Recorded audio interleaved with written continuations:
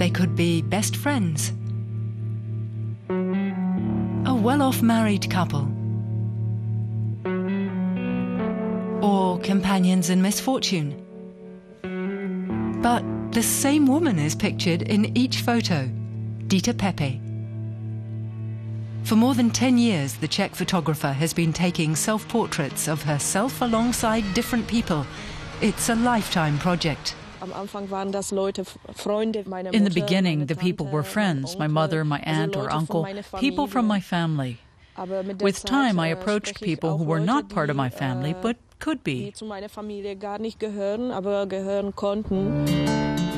Dita Pepe is constantly on the lookout for new characters for her portraits. She's planning a new series featuring the islanders of Sylt on Germany's North Sea coast. Like arts manager Angela Grosser. The women have just met. But Angela Grosser allows the photographer intimate insights into her life. She talks about her family and lends her her favourite clothes. In her self portraits, Dita Pepe doesn't just want to look like a friend, she wants to feel like one. It's a two way deal. I'm just curious about people, new discoveries, how they work. I find that exciting. So if an artist comes to me and says, let's go on a journey of discovery, that's a great offer. It's just a world that I'm not familiar with, and I think it's great to be able to share in that. I don't quite know yet, but I think perhaps that we would stand somewhere here, the camera here, and actually, the sculpture doesn't have to be there. That would be too much. It will be square, with a composition in the middle.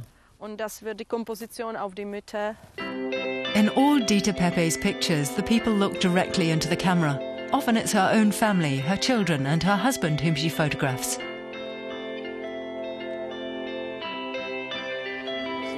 Dita Pepe grew up in an industrial city near the Czech Polish border. At 18, she moved to Germany.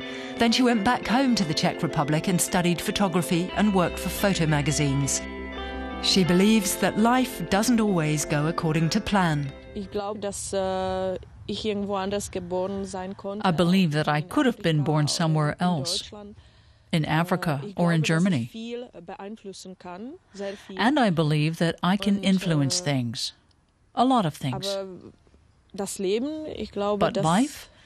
I don't think that I can influence life. It's just coincidence.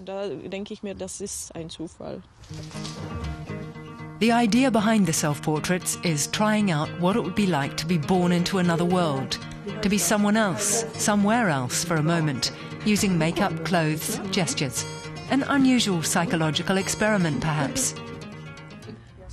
I don't find that strange. Or I think if you try to understand people, then you also try to put yourself in their position to some extent.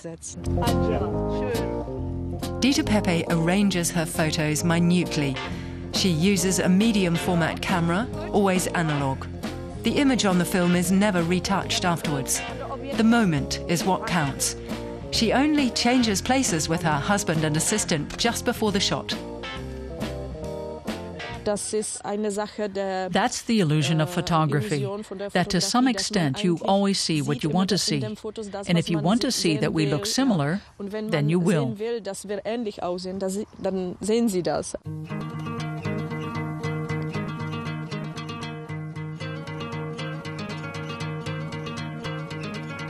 There are many ways of living, many paths that life might have taken.